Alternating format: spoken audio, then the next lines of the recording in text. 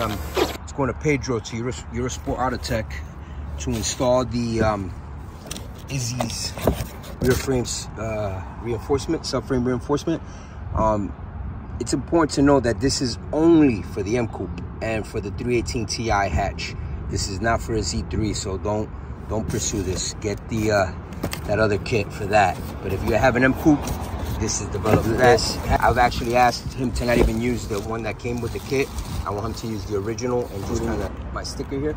So I got everything from subframe bushings to the diff, differential mounting bushing, I mean hardware bushings, actual screws, everything. So links, you name it, it's in here.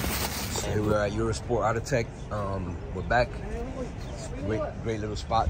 They're gonna be uh, doing all of the uh, rebuilding of the uh, rear suspension plus the welding and the reinforcement. So, stay tuned.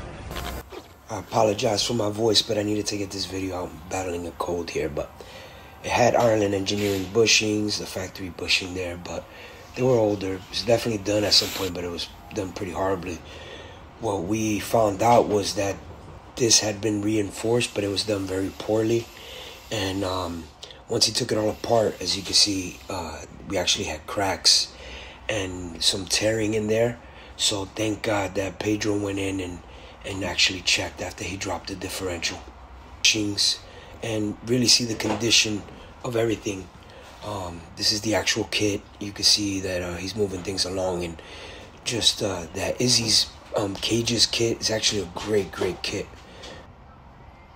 Here he is uh, removing all of the old uh, uh, components and then now as you can see the after he installed everything new. We started with this first prior to moving to the actual frame and um, handling all of the, the frame. Now those bushings are kind of stiff by the way, but it's handling like it's on rails. Here he's uh, using a tool to remove all of the tap welds um, and then you know getting the actual uh, diff holder out he grinded everything out grinded it smooth cleaned it up and uh, as you can see the overall condition was uh, here he laid down the first plate um, you can see him tapping everything in and uh, it's went pretty straightforward. According to him, it's a, a very good kit.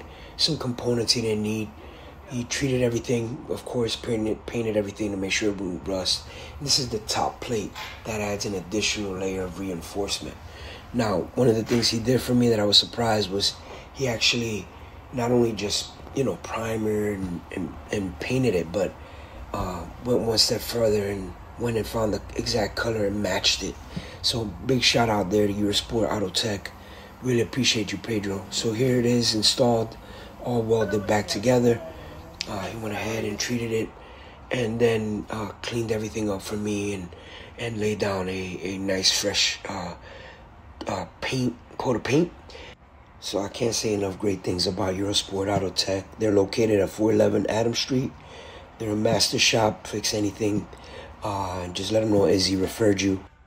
They can also do the Randy Forbes kit. So anything you need, man, guy is incredible. Uh, any work on a BMW, Euro cars, anything actually. Check him out. You won't regret it.